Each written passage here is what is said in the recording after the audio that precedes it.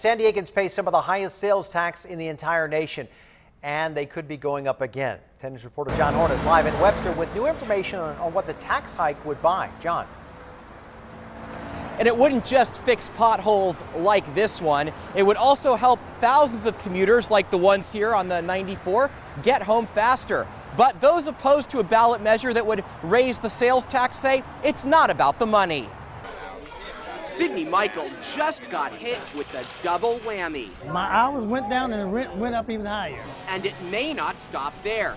Sales tax could be rising too. I cannot afford another sales tax.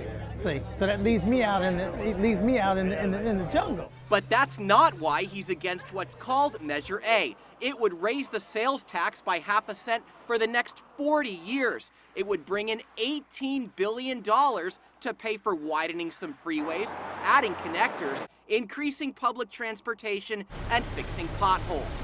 And Michael says his opposition grows deeper because of some of those projects. He lives in City Heights, one of San Diego's most urban areas, surrounded by freeways and fumes. No way, measure it! No way!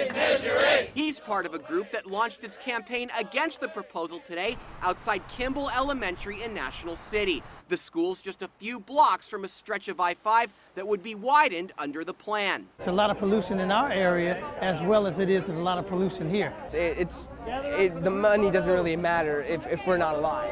And Michael says that's a price tag that's just too high, regardless of how much it adds to his already rising cost of living. It's really, really sad because people are not getting pay raises, okay?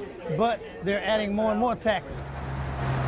The measure doesn't just set aside money for our roads and freeways and public transportation. It also takes funds and puts them toward space, open space management to help prevent wildfires and water contamination. Live in Webster, John Horn, 10 News.